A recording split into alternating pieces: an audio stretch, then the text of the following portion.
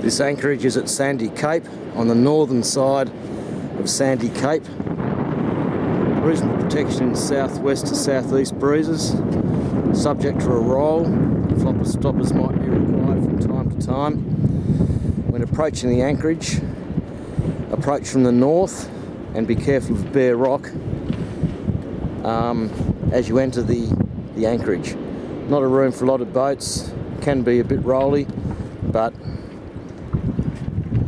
Sandy Cape, northern side of Sandy Cape, does give reasonable protection in certain weather.